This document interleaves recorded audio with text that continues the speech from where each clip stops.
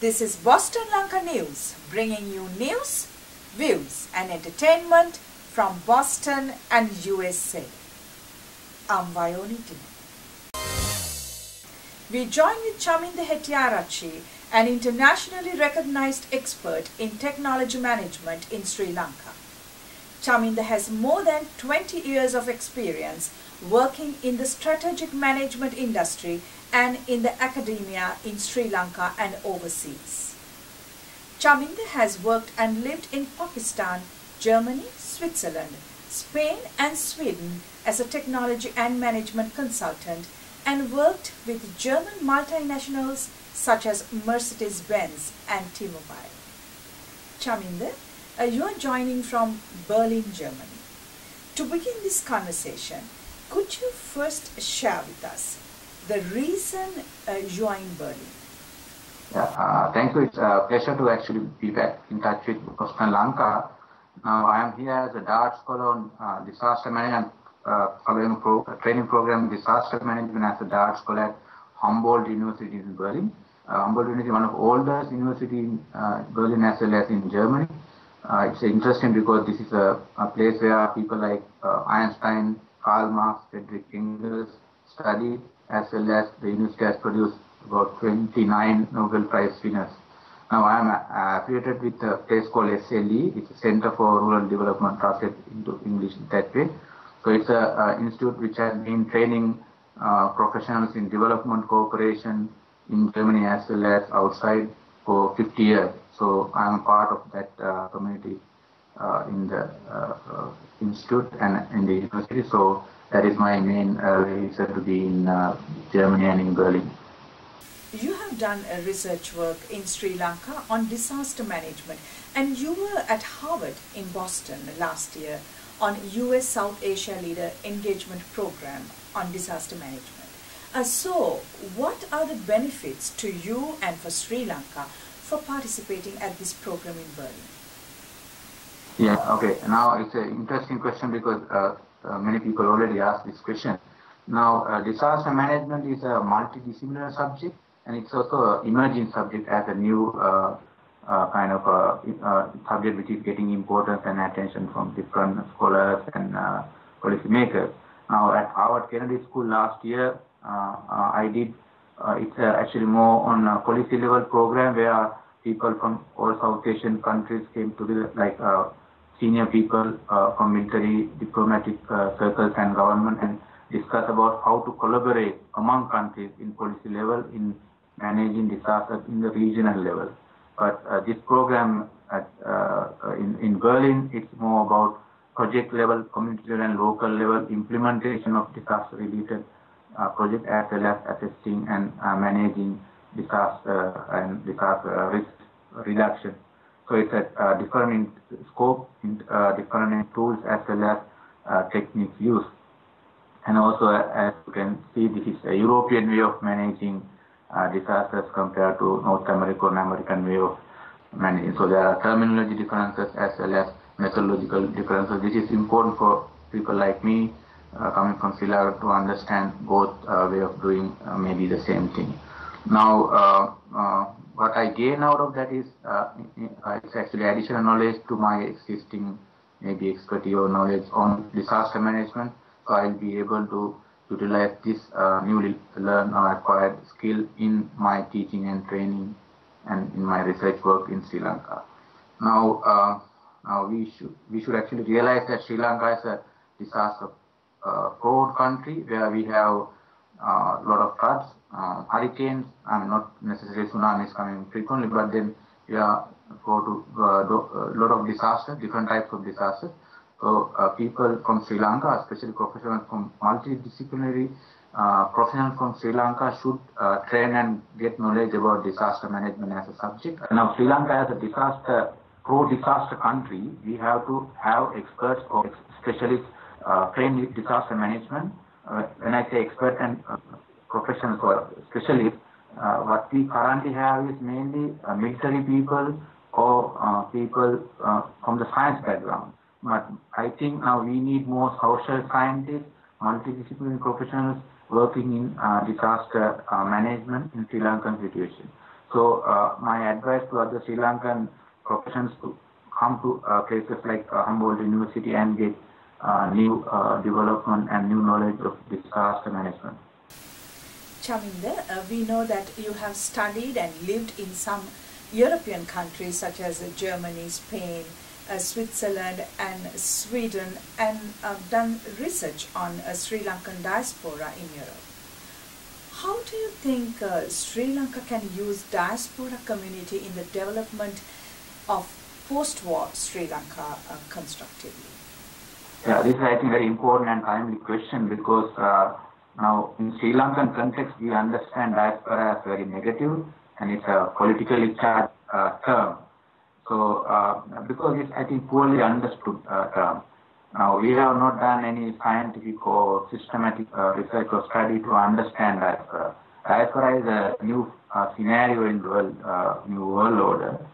Now, as a, for example, I would say now not all Tamil diaspora are pro-LTT. Now, sometimes we use in Sri Lankan terminology, eh, diaspora mean uh, LTT. So that should not be the case. Now, for example, of course, there are different diaspora, female diaspora, Tamil diaspora, and Tamil diaspora. But then among Tamil diaspora also we have pro-Tamil LTT, uh, neutral as well as anti-LTT diaspora. So uh, my suggestion is that we have to under, try to understand it more systematic way and also uh, to get their expertise in nation building and development on post country Sri Lanka. Now I am saying that now we, I have seen and I have uh, studied about many examples where uh, some diaspora members are successful in their host countries as professionals, particularly second generation and third generation diaspora members are becoming more uh, knowledgeable, educated, and politically influential. So we should have uh, organized institutions, uh, mechanism to integrate, their services as well as to recognize them as a part of Sri Lankan society. Now, it is not something uh, uh, kind of uh, unique to Sri Lanka. If you look at the uh, cases of maybe in India, Poland, Ireland, there are many other country examples where they have successfully uh, integrated diaspora expertise and diaspora as a community in uh, forming their uh, nation. So I think we should uh, first of all do more studies and understand diaspora as a new social situation and uh, uh, do more studies on that. Plus, uh, we have to change uh, local orientation and attitudes toward the term and also uh, the community. As a researcher based in Sri Lanka, could you share with us your thoughts about the present tension between Muslim community and some extremist groups such as uh, Bodubala Sena, uh, Ravana Force, etc. Uh, tell us also your ideas on how to improve this situation. Yeah, it's, it's, a, it's, a, it's, a, again a kind of good question, but I remember you asked similar question one year ago. Now, my answer that time was different because uh, maybe one year ago, a lot of people, including myself, we thought that these are individual events and that will not, uh, you know, uh, continue based on the uh, previous experience in Sri Lanka.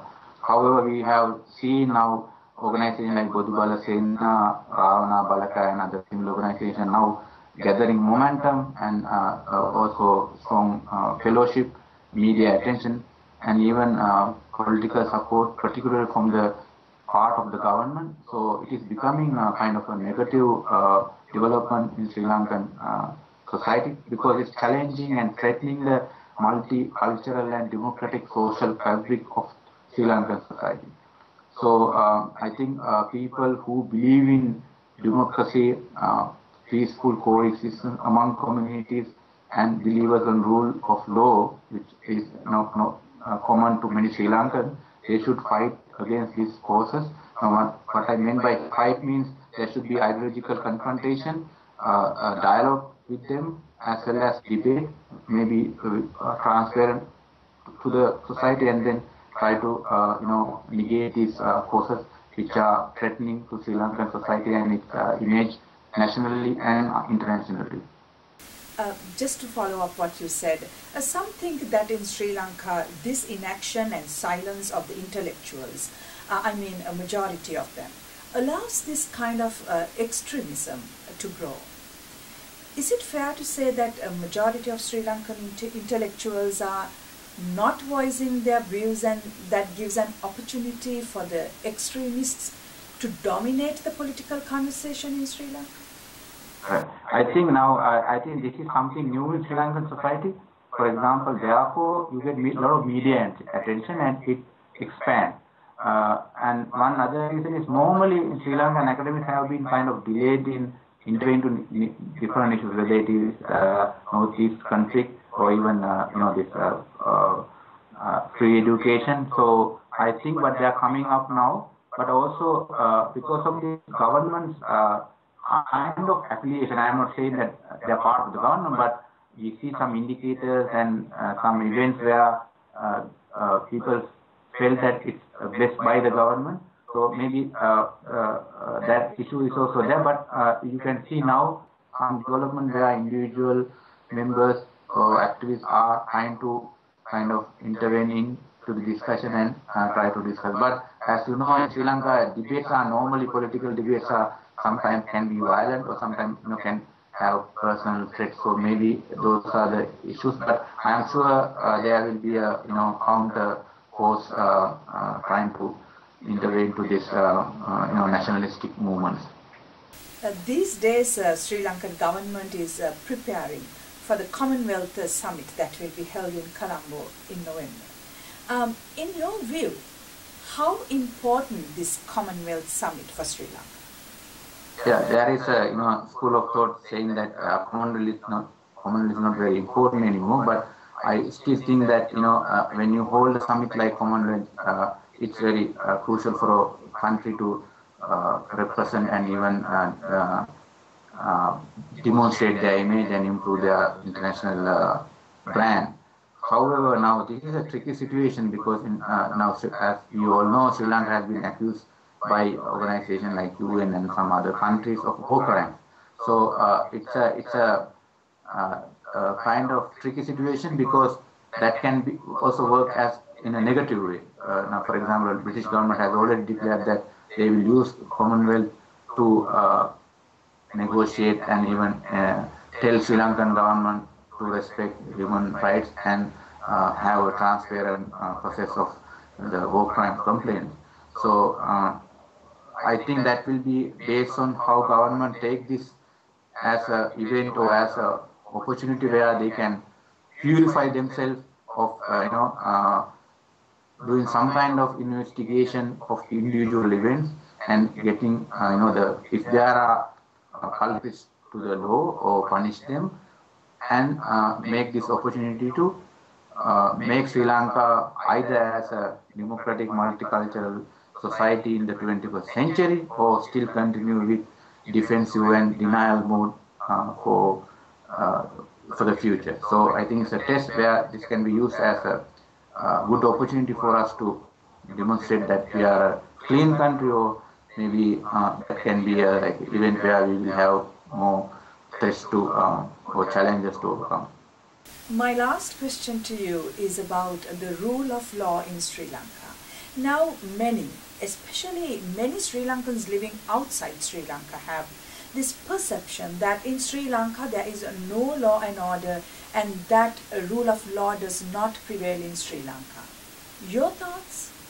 I think, yeah, but basically now, even though I live in Sri Lanka, I mean, I, uh, uh, I watch both national and international news and I see how, I mean, how this can be seen from outside, which is very, very uh, important question because uh, as a Sri Lankan living in Sri Lanka, I have the same concern and same, uh, uh, for example, fears so there's a serious issue happening in Sri Lanka uh, on breaking rule of law and politicization of uh, institutions.